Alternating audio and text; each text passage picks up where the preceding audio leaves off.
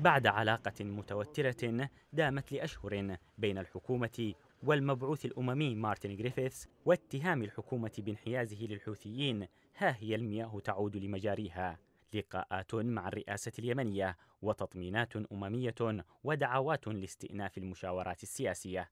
الخلاف الحاد بين المبعوث الأممي والحكومة والذي وصل إلى أبعد مستوياته بعد اتهام الرئيس هادي للمبعوث بالتماهي مع ميليشيا الحوثي والالتفاف على اتفاق السويد خاصة تلك النقاط المتعلقة بالحديدة. سرعان ما بدأ هذا الخلاف بالتلاشي بعد رسالة الأمين العام للأمم المتحدة أنطوني غوتيريش بشأن أخذ كافة الشواغل الخاصة بنقاط الرئيس هادي وتأكيد الأمم المتحدة التزامها بمرجعيات الحل الثلاث.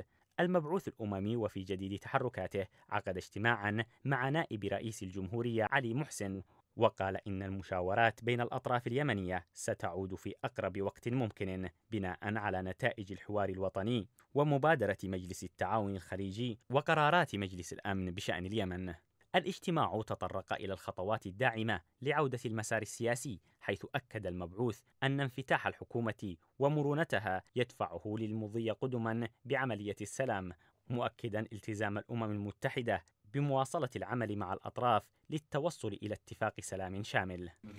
لكن مراقبين وجدوا أن البناء على عودة المشاورات في هذا التوقيت لا يمكن أن يثمر وذلك دون التزام حقيقي من الحوثيين بالتوقف عن التصعيد العسكري في معظم الجبهات. تحركات دولية مكثفة لإعادة المسار السياسي في اليمن وهو مسار أجلته خارطة التطورات الميدانية فضلا عن حالة التوتر واللاثقة التي تنتاب المشهد.